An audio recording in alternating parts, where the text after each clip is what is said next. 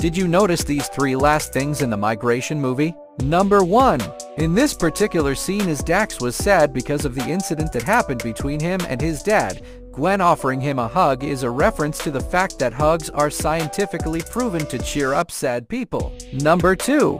The main reason why Mr. Toothpick didn't want to follow Gwen home is because he could develop some hunger urge and eat her since he is a crocodile. Number 3. In this particular scene as Mack and his wife was caged up by the heartless chef as she lost hope the inspirational speech he spoke to her inspired millions. Come on, Pam. You've proven over and over again that when everything is hopeless, we have to be... Optimistic. Yes!